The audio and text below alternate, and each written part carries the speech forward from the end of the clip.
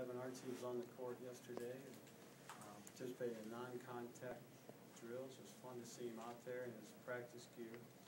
Uh, Aaron Fuller um, was on the court and moving better. Uh, That was kind of odd that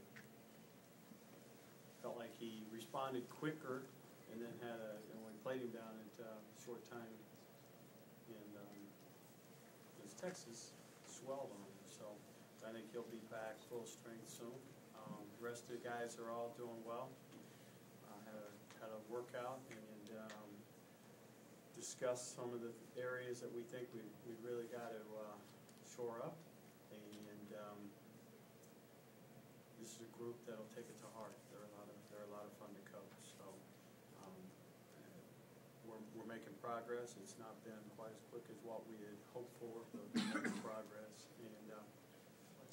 Got a exceptionally good team coming in, uh, tomorrow in Virginia Tech. And I don't think Seth would mind me telling this story about half a dozen years ago or even more.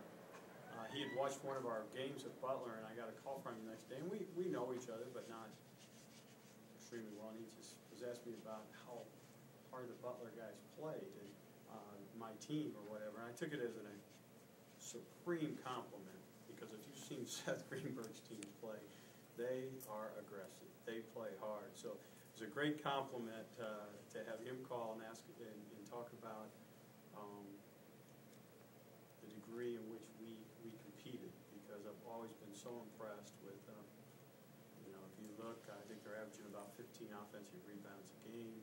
Uh, they, they're very, very good in transition. They're aggressive and uh, they complement one another very well. Virginia Tech's a team, I think, that uh, was on the bubble last year. Some very close games, ended up playing in, in NIT. They go to postseason play under under Seth. They, he's got a, he's established an excellent program. So, um, you know, it's another part of this schedule that's very demanding to, to play uh, the ACC. Um, you know, we also talked about this. Um, our schedule is uh, this year is going to be, you know, top top 25 at least, probably strength of schedule. So this is part of that.